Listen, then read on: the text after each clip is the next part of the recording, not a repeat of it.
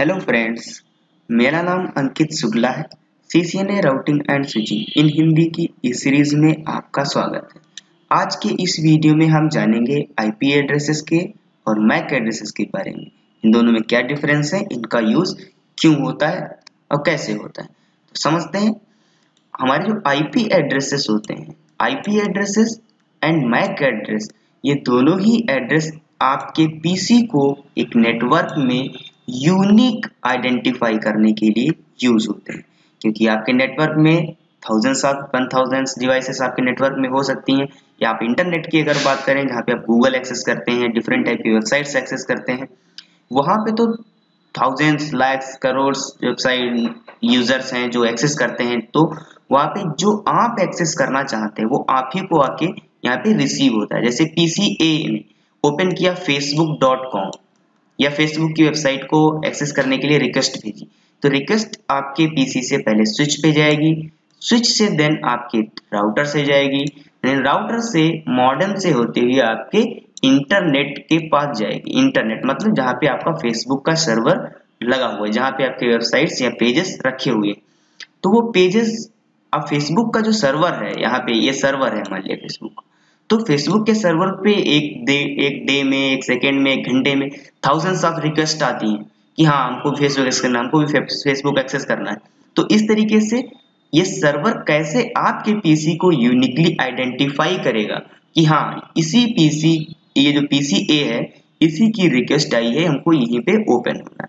इसके लिए आपका आईपी एड्रेस और मैक एड्रेस यूज़ होता है कि एक आप लार्ज नेटवर्क में आपको यूनिकली आइडेंटिफाई किया जा सके कि हाँ रिक्वेस्ट आप ही से आई थी, आप ही को डेटा सेंड करना है या आपसे ही रिसीव करना है। तो क्या करेगा सर्वर यहाँ से रिक्वेस्ट भेजेगा देन यहाँ राउटर के पास आएगी। अब राउटर आपका आईपी एड्रेस के बिहार पे आपको यूनिकली आइडेंटिफाई करेगा कि ये जो रिक्वेस्ट हमने यहाँ पे सेंड की थी, उसका पे हमको सेंड करना है डेटा जो फेसबुक ओपन करने की जो रिक्वेस्ट आई थी, वो 192.168.1.5 से आई थी। देन ये राउटर ये स्विच पे डेटा भेजेगा। तो स्विच यहाँ पे मैक एड्रेस के साथ में डील करेगा और मैक एड्रेस के बिहार पे डेटा को ट्रांसफ़र करेगा। क्योंकि एक स्विच से कई सारे पीसीस आपके आपस में कनेक्टेड हो सकते हैं। और तब वो एक यूनिक आईडी आपका मैक एड्रेस को लर्न करेगा देन आपको डेटा आपके पीसी पे रिसीव होगा। तो इस तरीके से एक नेटवर्क में आपके पीसी को यूनिकली आइडेंटिफाई किया जा सके कि ये रिक्वेस्ट आप ही की थी या आप ही के द्वारा डेटा सेंड किया गया इसके लिए हमारे दो एड्रेस आपके पीसी पे यूज़ होते हैं, जिनको हम IP address and MAC address के नाम से जानते हैं। आईपी एड्रेस मतलब internet protocol address and MAC address मतलब मीडिया एक्सेस कंट्रोल चलिए इनके बारे में थोड़ा और जानकारी लेते हैं, उनके बारे में समझते हैं। तो आईपी एड्रेस जो हमारा होता है, इसको बोलते हैं internet protocol address IP address को हम लॉजिकल एड्रेस के नाम से भी जानते हैं। और आईपी एड्रेस जो हमारे होते हैं, वो नेटवर्क लेयर पे वर्क करते हैं। मतलब जो राउटर या लेयर थ्री स्विचेस हमारे आईपी एड्रेसेस के साथ में डील करते हैं। डेटा को सेंड करने के लिए नेटवर्क पे आईपी एड्रेसेस का यूज़ होता है। जैसे IP provides unique addressing scheme and allow transmitting data over network मतलब एक नेटवर्क से डिफरेंट नेटवर्क्स में डिफरेंट डिफरेंट नेटवर्क्स में डेटा को ट्रांसफ़र करने के लिए आईपी एड्रेस का यूज़ होता है। जो कि आपके नेटवर्क में, आपके पीसी का, आपके सर्वर का एक यूनिक आईडी होती है। हालाँकि अगर देखा जाए तो आईपी एड्रेस आपका अनरिलायबल प्रोटोकॉल है। क्यों? क्योंकि आईपी एड्रेस जो है, वो एडमिनिस्ट्रेटर के द्वारा चेंज किया जा सकता है या चेंज हो सकता है। जैसे IP address can be changed by the administrator तो आईपी एड्रेस आपके पीसी पे दो टाइप से आती है। एक स्टैटिकली कॉन्फ़िगर होती है या फिर डायनेमिकली कॉन्फ़िगर होती है। स्टैटिकली एडमिनिस्ट्रेटर के द्वारा कॉन्फ़िगर की जाती है। और डायनेमिक आईपी एड्रेसेस आपको डीएचसीपी सर्वर के द्वारा प्रोवाइड की जाती है। हालाँकि दोनों ही आईपी एड्रेसेस आपके चेंज हो सकते हैं तो जैसे आपका नेम है, वो नेम जो है आपकी यूनिक आईडी नहीं है, क्योंकि नेम आप ही के नेम पे कई सारे लोग हो सकते हैं, और वो आपकी एक परफेक्ट या यूनिक आईडी नहीं कही जा सकती। उसी तरीके से आईपी एड्रेस जो है वो आपके नेटवर्क में यूनिक तो होता है बट चेंज भी हो सकता है। तो इसलिए आप उसको यूनिकली रिलायबिलिटी के साथ आप उसको यूनिक आईडी नहीं कह सकते।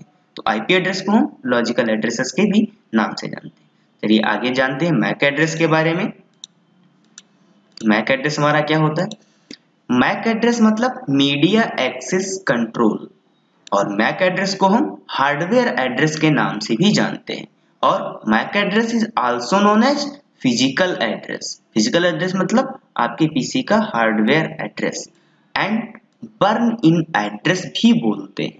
B I A burn in address इसको इसलिए बोलते हैं कि जो आपका एड्रेस होता है, मैक, जिसको हम फ़िज़िकल एड्रेस जानते हैं, वो आपके एनआईसी पे बर्न होता है। एनआईसी का मतलब नेटवर्क इंटरफेस कार्ड जिसको आप इथरनेट पोर्ट बोलते हो, वहाँ पे आपका जो मैक एड्रेस होता है, वो बर्न होता है।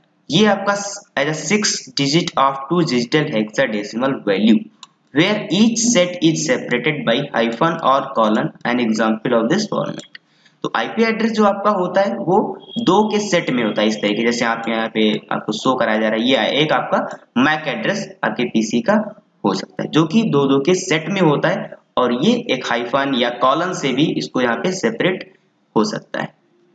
तो आपका मीडिया जो आपका मैक एड्रेस होता है, वो नॉट चेंजेबल होता है। कभी भी चेंज नहीं हो सकता। जैसे each N I C has unique and not changeable MAC address associated to it MAC address जो आपका होता है, वो आपका वेंडर्स एचपी जो क्या करते हैं मैन्युफैक्चरर होते हैं, वो उसी आपके एनआईसी पे आपके मैक एड्रेस को बर्न कर देते हैं। इसको आप कभी भी चेंज नहीं कर सकते हैं। और ये मैक एड्रेस आपका ऑल ओवर वर्ल्ड आपका यूनिक होता है। आप एनआईसी को तोड़ के फेंक सकते हैं बट कभी भी उसको चेंज नहीं कर सकते हैं। ये आप मैक एड्रेस के बारे में बहुत अच्छे से समझ लीजिए कि आप इसको कभी भी चेंज नहीं कर सकते इसीलिए यहाँ पे लिखा हुआ है which is referred as a hardware address और जो आपका मैक एड्रेस होता है मैक का एड्रेस आपका 48 बिट एड्रेस होता है। आपका जो एड्रेस होता है, वो 48 बिट का होता है आपका मीडिया एक्सेस कंट्रोल तो चलिए आप आगे और समझते हैं इसके बारे में।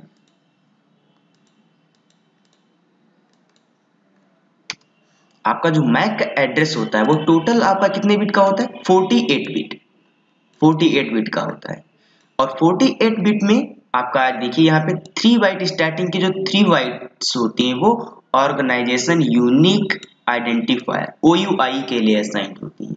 ऑर्गेनाइजेशन यूनिक आइडेंटिफायर्स का मतलब आपका जो वेंडर होता है, जैसे एचपी है डेल्स हैं, इनके लिए असाइंड होता है इतनी बिट्स और जो आपका जो लास्ट थ्री बिट बाइट्स जो आपका बचता है, या 24 बिट भी आप कह सकते हैं। अगर बिट में कहें तो ये 24 और ये 24 24 24 बिट्स में डिवाइडेड होता है। और ये 24 बिट्स आपके एनआईसी नेटवर्क इंटरफेस कार्ड के लिए स्पेसिफिक होता है।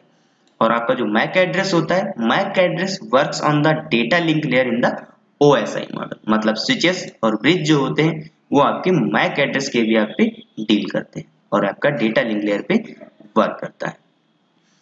तो अगर एक कंपैरिजन में एक ओवरव्यू में आप रिकॉल करें तो आईपी एड्रेस एक आपका लॉजिकल एड्रेस होता है। और मैक एड्रेस आपका हार्डवेयर एड्रेस होता है। मैक एड्रेस भी और आईपी एड्रेस दोनों ही यूनिक होते हैं बट आईपी एड्रेस आपके नेटवर्क में चेंज हो सकते हैं बट मैक एड्रेस को हम किसी भी कंडीशन में चेंज नहीं कर सकते तो आज के इस वीडियो में इतना ही and thank you for watching